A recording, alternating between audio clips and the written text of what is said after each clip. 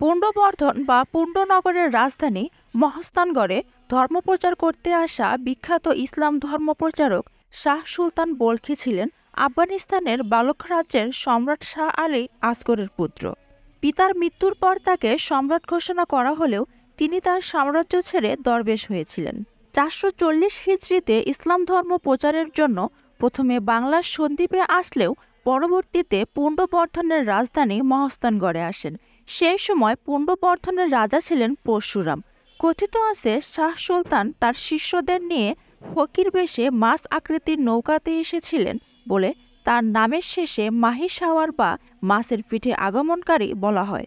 মহাস্থানগড় পৌঁছে তিনি ইসলামের দাওয়াত দিতে শুরু করলে প্রথমে রাজা পরশুরামের সেনাপ্রধান, মন্ত্রী এবং সাধারণ মানুষ ইসলাম ধর্ম গ্রহণ করেন।